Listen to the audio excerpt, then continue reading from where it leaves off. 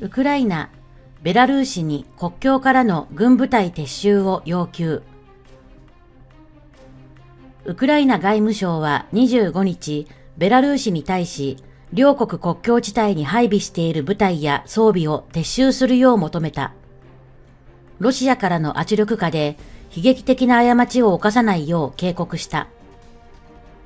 ベラルーシ軍部隊に対し、非友好的な行動をやめるよう訴えた。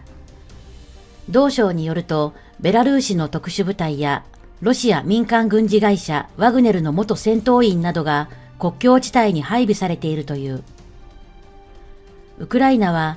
ベラルーシの人々に対して非友好的な行動を取ったことはないし、取るつもりもないとした。ベラルーシのルカシェンコ大統領は18日、同国が兵力の約3分の1を国境近くに配置したと明らかにした。ウクライナがベラルーシとの国境近くに12万人余りの兵力を配置したことに対応したと話した。ベラルーシの政権にとってロシアとの関係は決定的に重要だ。一方、少し前に西側諸国は欧州最後の独裁国家として政権を潰すキャンペーンを大々的に行った。もちろんベラルーシが実際に軍を動かす可能性は低いが、兵を置くことによってウクライナの軍隊をそちらに咲かせるというロシアにとって軍事的な意味を持つ。ウクライナが撤退を要求したからといって、それに従う蓋然性はゼロでは。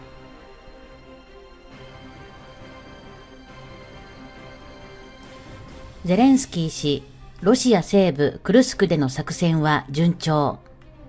プーチン氏との交渉模索の意向も。ウクライナのゼレンスキー大統領は、ロシアによるウクライナ侵攻開始から2年半となる24日、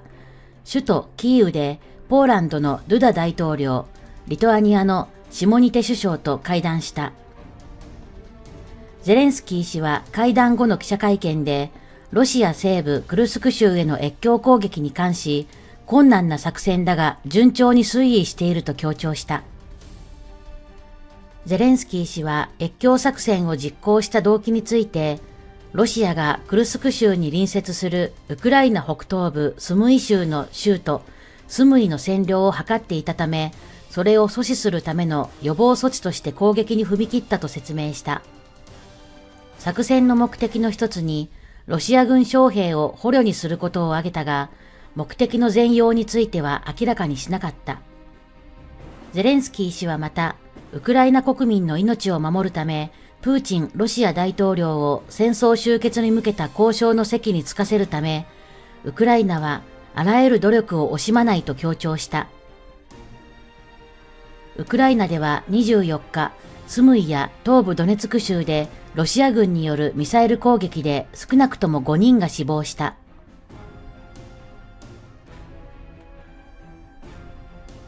ロシア軍歩兵戦闘車、味方の歩兵戦闘車を待ち伏せ攻撃で撃破。至近距離から猛烈な射撃。ウクライナがロシア西部クルスク州に侵攻して3週間近く経つ中、ウクライナ軍部隊の進撃はペースこそ落ちているものの止まってはいない。最前線では混沌とした状況の中で、両軍が激しい戦闘を繰り広げている。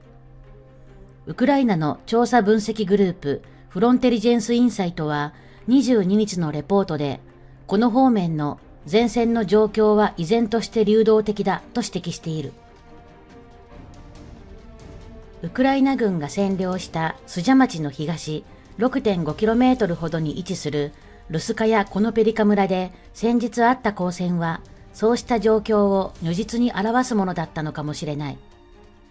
20日かその少し前、コザク、かっこコサック装甲トラック少なくとも1両に乗ったウクライナ軍の先方部隊がこの村に乗り込んだ。ルスカヤコノペリカ村の最も近くに展開しているウクライナ側の大規模部隊は陸軍の第54独立機械化旅団と第61独立機械化旅団と見られるので、この先方部隊もいずれかの旅団の部隊かもしれない。コザクが西から道路を走ってきて、ルスカヤコノペリカ村の交差点に差し掛かると、そこに北からロシア軍の BMP-2 歩兵戦闘車が侵入してくる。敵味方の車両が間近でまみえる中、交差点のすぐ西側に待機していたロシア軍の別の歩兵戦闘車、かっこ BMP-2 の後継モデルの BMP-3 が状況をさらに混乱させる。これらの BMP はロシア軍の第56新鋭空中襲撃連隊の所属だったのかもしれない。ウクライナのシンクタンク防衛戦略センター CDS の報告によると、ロシア軍は最近、この連隊をウクライナ南部ザポリージャ州からクルスク州に配置転換していた。話を戻すと、ロシア軍のザラドローンが上空から監視する中、待ち受けていた BMP-3 は 2A72 機関砲で射撃を始める。見るからに乗員はウクライナ側の車両に向けて撃っていたと考えていたのは明らかだ。だが実際はそれは味方の BMP2 だった。BMP3 は至近距離から30ミリ口径のこの機関砲を撃ちまくり、BMP2 を破壊し炎上させる。その間にウクライナ軍のコザクはスルスルと後退し、その場を離れている。BMP の同士撃ちは、ルスカヤコノペリカ陥落の前触れかもしれない。ウクライナの調査分析グループディープステートの戦況マップによると、この村は23日時点で両軍が支配を争うグレーゾーンに入っている。ロシア軍の重装備の部隊も現地に入り始める中、戦況の行方は？今月6日の侵攻開始から20日近く経過する中、ウクライナ軍の前線部隊はクルスク州の815平方キロメートルほどの地域を支配下に置き、さらに415平方キロメートルほどの支配を争っている。ウクライナ軍のこの方面の前線兵力は少なくとも計8個の機械化旅団と空中強襲旅団から抽出された6個前後の大体規模の部隊で構成されている。ウクライナ側は20日までに戦闘車両などの装備を65点失ったことがオランダのオープンソースインテリジェンスサイトオリックスによって確認されている。ロシア側の装備の損失は40点となっている。ロシア軍は計25個ほどの連隊や旅団の部隊からなる兵力で、ウクライナ側の進撃を抑え込もうとしている。だが、兵員の多くは、ロシアの政権寄りのチェチェン人や、ろくな訓練を受けていない若年の徴集兵が占める。ロシアの従来の方針では、徴集兵は直接の戦闘には従事しないことになっていた。ロシアはウクライナ東部の戦線に投入している自軍で最も優秀な機械化部隊をクルスク戦線に転用するのに消極的だ。そうすれば東部での現在の攻勢の勢いがそがれかねないからだろう。一方で、より重装備の部隊が何個かクルスク州に到着し始めており、戦場の力学を変えつつある。フロンテリジェンスインサイトは、ロシア軍はどうにかウクライナ側の進撃を鈍らせ、予備部隊を投入できたようだ。ウクライナ軍部隊を完全に封じ込めるには至っていないものの、クルスク州でさらに深く、急速に支配地を広げられるのは防いでいるとの評価を示している。ただし、これは必ずしもウクライナ軍が抑え込まれたとか、これ以上進軍できないというわけではないと不言し、ウクライナ軍がクルスク州方面に集中させている兵力は、引き続き進撃したり突破を成し遂げたりするのになお十分かもしれないとも述べている。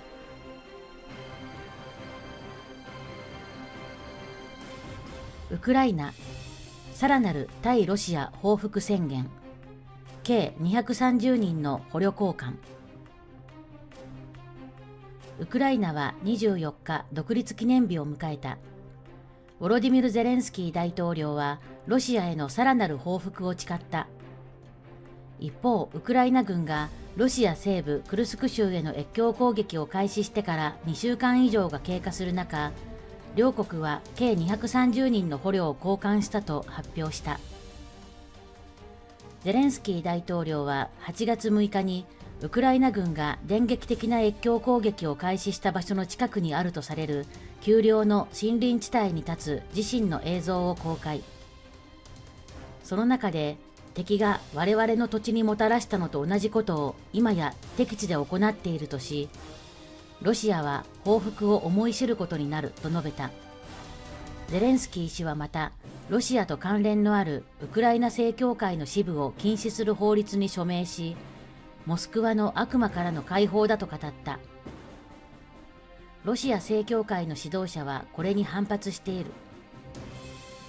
一方、ウクライナ、ロシア両政府は、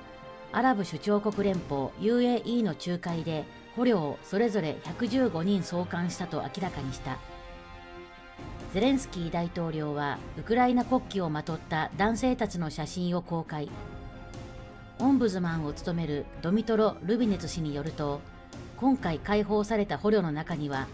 アゾフスターリ製鉄所での2022年の壮絶な戦闘に参加した兵士も含まれている。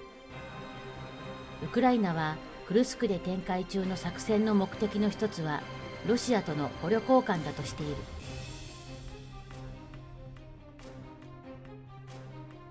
クルスク越境攻撃の後、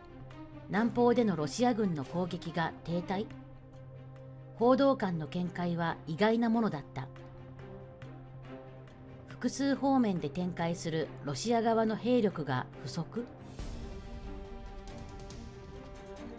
ウクライナ国防省の公式メディアアーミーインフォームは2024年8月20日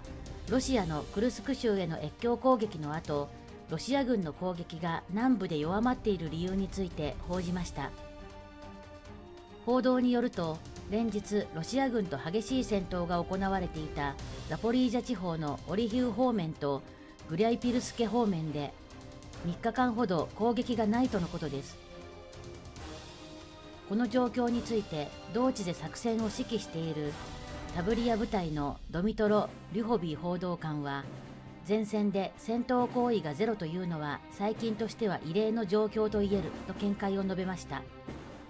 ただウクライナ軍が抑えているドニプロ川左岸の一部ではロシア軍が追い出そうと散発的に攻撃を加えているとのことでした。この方面でのロシア軍の大規模な攻撃の停止とクルスク方面への越境攻撃の因果関係についてドミトロ報道官は私はこれをクルスク作戦と結びつけようとは思わないと話しました。ただ慎重論というよりは以前に指摘していたことが現実になっただけという考えで私は1ヶ月前にロシアには複数方面に同時に効果的な攻撃を行うための資源がないと言ったと強調しました。